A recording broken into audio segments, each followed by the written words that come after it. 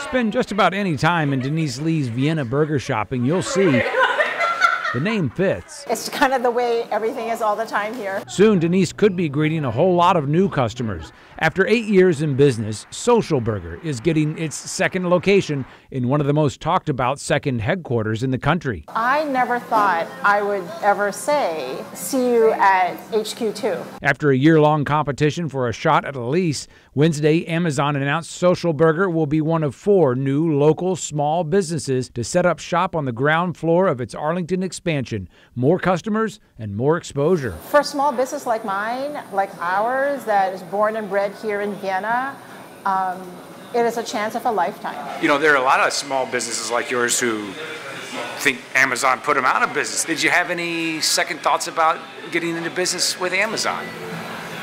Actually, no. They really wanted to champion the small business. Which means an opportunity for Social Burger to expand its social impact. For the past several years, the restaurant has donated 40 hot meals a week to people in need, more than 6,000 total so far. To be in that kind of arena where we can grow and obviously be better, I think that's every small business's dream. The store's new location should be open in the new HQ2 by next April.